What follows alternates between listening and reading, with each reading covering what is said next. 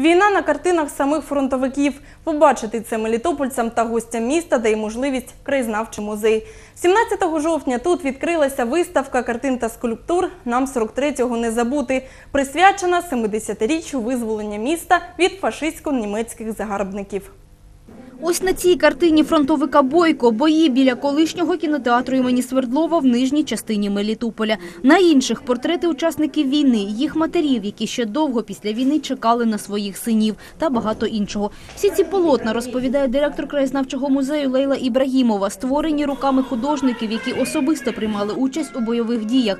Це митці Білявський, Антоненко, Фесюк, а також художники з Харкова, Дніпропетровська та Запоріжжя. Найбільше інтересу відвідувачів виставки викликала картина мелітопольця Володимира Титкова «Бій в районі парку імені Горького», написана ще в 1943 році. Когда наш город освободили, в городе состоялась выставка 4-го Украинского фронта от Волги до Днепра, и эта картина экспонировалась на этой выставке.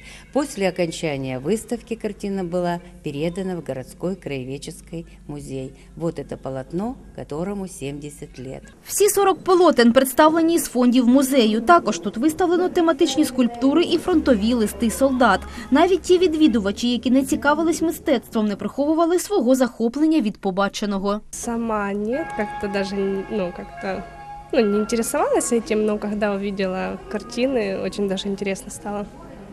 Понравилось очень рассказ о Вознесеновке, о Мелитополе. М, Я вот не знала лично такого.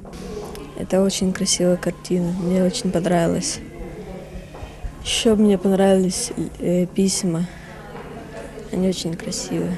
Я бы всем рекомендовала мелитопольцам, горожанам посмотреть эту выставку, потому что это действительно очень здорово. Працюватиме виставка у музеї до кінця листопада.